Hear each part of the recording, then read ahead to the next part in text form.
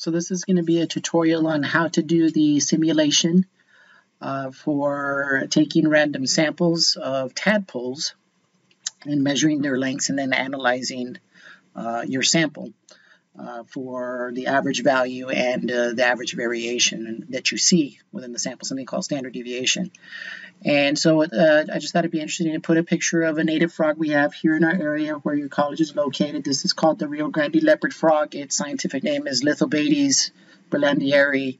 Uh, and as we, we all study early early grades, the frogs go through a life cycle. It gets fertilized, uh, then the larval stage of a tadpole. They go through metamorphosis, which means to change uh, and they change into uh, subadults to juveniles, and then they go through uh, a growth stage, and then eventually they come to maturity. And for ectotherms, which are misnamed uh, cold-blooded animals, but for these, uh, their growth is usually indeterminate. Uh, they're not like mammals that have a definite growth. Um, where they stop growing. But usually they slow down in growth when they start to reproduce. But in that case, it becomes a little bit harder to figure out what the age of these uh, frogs are uh, overall. So uh, sometimes uh, more important information is not necessarily what is the overall age structure of that population, but what is the size structure of that. But uh, in this case, we're not going to be looking at uh, adult frogs or subadults. We're going to be looking at tadpoles. So you can see on the next two slides, we have pictures of tadpoles of the ruler there. Uh, and then on the next one. And so there's actually two groups of tadpoles. They were either treated through an experiment uh, differently or we got them from two different locations and it's more of a natural experiment that we'll be studying. But the things you're going to be needing for this lab. So that PowerPoint you're going to need and you can download it and then you're going to open it up to do the simulation. Uh, this is your week one um, assignment document for your first assignments lecture in your laboratory. And by now, you've already gone through, here's your supplemental uh, items, but here are your tasks. You've already gone through lab safety. Uh, you've done the metric system uh, unit conversions, and now you've come to, uh, you've done your simulations through Connect, and then you've cut, you're on step 10 right now. And that first, that PowerPoint I was showing you, you can download it right here. It's the two samples of tadpoles. You download it, you can save it to your computer. Um, you might not have to, you might be able to run the simulation just open there uh, on the tab there. But there's a feature here that allows you to um, download as, you can download the copy or you can probably save it to your own OneDrive. And once you do that, then you'll be able to manipulate as needed, save it, make changes you want to it. Though you don't have to make any changes, you just have to move the, uh, the ruler around here. The other thing you're going to need is this Excel spreadsheet that I've created that's going to help you generate a random sample from what you see on those PowerPoints um, uh, on the slides. Then you're going to need the raw data table and this will be for your samples. There's actually 30 tadpoles on each slide, one for group A and one for group B, but you're not going to measure them all. Uh, that would be uh, a bit too time consuming for the simulation. 30 is actually a magic number in statistics, but uh, you're going to get a random sample. I'm going to suggest seven, so I've created a table that has seven there. Now you can type them in there or you can write your data in your notebook that you're keeping, uh, but you're not going to turn this one in. You're going to turn in this next one that's going to involve calculations and this next one is going to be for the next tutorial video that follows this one. So that data you collect, you're going to need to put into this table, and I'll show you uh, that in the next tutorial, but you're going to need this, this one here. And there's a table here for running the calculations for the group A tadpoles and one for the group B tadpoles. And you are going to need to turn this in, and this is something you're going to have to do with lots of data sets in your labs this semester. So it's something we want to make sure we establish that foundation for analyzing data later. So make sure you have these. Now, the idea here is we don't want to go here to um, uh, to each of these. Uh, you can see this ruler here that's going to simulate a ruler to go and measure the lengths uh, of there. The idea is you don't want to just go in there and pick any tadpoles because either on purpose or just by some uh, bias that is uh, subconscious, you go and pick all the largest ones or the smallest ones. And so in order to avoid that, scientists want to make sure we pick a random sample. So that's where the spreadsheet comes in. So you can see we have uh, the tadpole here. And I actually have one ruler on each one, but it's important to know that when you're making multiple measurements, you always want to use the same instrument to avoid another kind of error bias that can occur from one instrument to another. Uh, but uh, just let's assume that this is the same ruler on both ones, or you can uh, take the ruler on one and control X and then paste it on the next slide if you want. Whoops, I wouldn't do that. You can see it just uh, change the size of the ruler.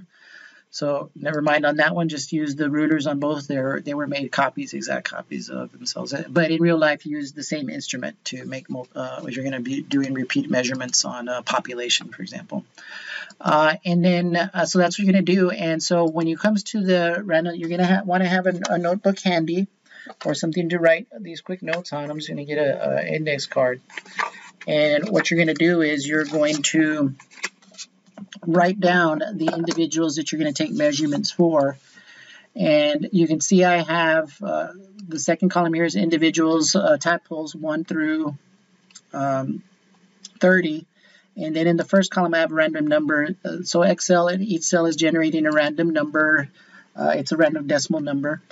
And uh, this is really nice because we don't have to use tables of random numbers like we, we had to um, before these computers were everywhere. And so you're going to uh, basically uh, click on one of the cells and then go and highlight all the cells that you're going to sort. So you need to sort both columns and you can sort the top two uh, column headings. And you're going to come to the the place where it says data there, the, the data tab, and under that menu. And here you have your custom sort you can actually use uh, this one here because it'll sort based on the first column. Let me just show you custom sort if you uh, sort if you're going to sort uh, more columns. You don't want to sort the yellow column, so you're just highlighting uh, the random number column and the individual column there.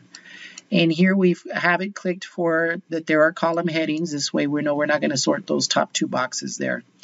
And because we have column headings, there's a random number and there's the individual tadpole column. We want to sort based on the random number, so it's going to sort the second column along with the random number. It's going to sort based on that random number. So this is what's going to give us a random sample. And when we do that, the first seven numbers are going to be copied here in the yellow column, and those would be the numbers for the individuals that you're going to get measurements from. And so this is just simulating an actual random sample. Now, if we were sampling from the wild, we would need to know a little something about the natural history of the leopard frog or whatever it is you're studying so that that knowledge helps make sure that you are actually taking a random sample from uh, these uh, this animal out in the wild. Uh, and so uh, but, but we're not doing that. This is just a simulation. So this is just a way to simulate getting a random sample. And so when I click on that, you can see it sorted it. And you can do this a hundred times and you're going to have probably a hundred different uh, set of individuals. Now, you may get the, some of the same individuals over again, but you're not going to have the same seven of them. And so what I'm going to do is I'm going to write down the ones that I'm going to sample. So you can see I'm going to do individual number 1, 17, um, and so on down that list, the yellow box, uh, 28 and 21 there at the end. So I've written them down, and you can use these same numbers for both group A and B because they were placed on there individually, or you might run the simulation again, which is probably a good idea. And it'll give you a different set, and that would be the individuals that you do for the second group. It's important to note that when you do this, no other class, no other individual that's in this class this semester is going to have the exact same individual tadpoles. So no one is going to have the same uh, average calculation. No one's going to have the same mean or standard deviation, which you have to do turn in for a grade. So keep that in mind. Everybody's uh, data uh, set should be uh, different, uh, and they're going to be, they're all going to be different. It's possible to get the exact same one, but probably the odds of doing that are like uh, same as getting struck by lightning. so uh, it would be a very, very rare case. So I've written those down. And so let's say now I'm going to go and I have the, the data table ready. So here's my data table here, and I'm going to collect from uh, from group A, and then I'm going to write for group B. And I'm just going to show you how you would do this for the first few. And you want to make sure you, you uh, do your measurements. So according to my first uh, simulation for group A, I was going to sample number 1, 17, 29, and then so on. I'm just going to do the, the first two for you. And so you're going to take the ruler and you're going to move in. And one of the first ones I'm going to sample is number 1. So I'm going to move this ruler here. I'm going to use the metric side. And it's important to note that this ruler actually has a little gap there on the very edge. And the zero mark is uh, right there where I put it on the edge of the slide. Okay. Now,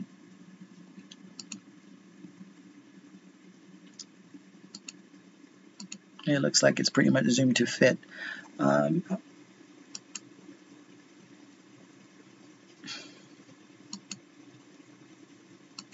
so you could zoom in uh, if you want. It's much easier to zoom in uh, if you're on the power, uh, actual desktop version of PowerPoint. And so you can zoom in and zoom everything in and you can get a better look. But what you're going to do is basically I'm going to get this first one here because mine said you want to line up the edge right on the snout of the tadpole there, right on the uh, on the front end of it. And then you want to move that ruler into place where uh, it's right at the edge there and you can actually use the arrows to help refine where the ruler is. And right there I can see that where the nose is is zero on the line. And each line is a millimeter, so it's we're already at 25, 26, so it looks like it's at about 27 uh, millimeters. So now I'm going to go to the table, and for that one, I'm going to write down 27. I don't have to write millimeters because it's on the top of the table already. Okay. The next one you're going to measure, that I would measure, because that's the what the random selection was from the generator, is 17. So I would go to 17 and then line that one up. Now, if you're on the desktop version of, X, of uh, PowerPoint, it's important to note that you cannot move the ruler if you're playing the slideshow, right? You can only do it when you're not playing the slideshow. Uh, and it's important to note that uh, that, that point is true there and that you are actually going to be doing uh, some random seven of these. It's not going to be the same ones I'm doing. So make sure you do this for yourself and get your own data set. And so this one, it looks like it's going to be, uh, I might need to zoom in on this, but it looks like it's 27 as well. Sometimes you're going to get repeats. The next one I'm supposed to sample is 29, so I'm going to come down here to 29. This one looks a little bit bigger and 29 just by coincidence looks like it's about 29 millimeters. Okay. And so you're recording your data uh, and then uh, you can go to some of the other some of them look like they're going through metamorphosis I did that on purpose. Uh, put some pictures of those with already growing legs. This one looks like it's more close to 34 35 so you want to be careful. If you download it to your desktop you can really zoom in and see it more closely. So you're going to do this for group A and then when you're done, you're doing those seven random ones, then you're going to go to group B and you're going to do the seven random ones from group B. And now you have the data that would be put that's in these in this table for group A and group B. From there, uh, once you're done with that, then you're going to move on to the next video for the, the calculation of the mean and standard deviation. So make sure you use this spreadsheet to get your random samples, and that's how you do this part of the lab simulation. So let me know if you have any questions, uh, but make sure you get this done and then move on to the next video so that you can do the means and the standard deviations.